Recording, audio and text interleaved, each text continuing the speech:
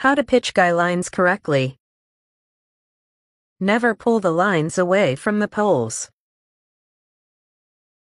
The guy line should be in line with the pole and not pulled too tight. Like this.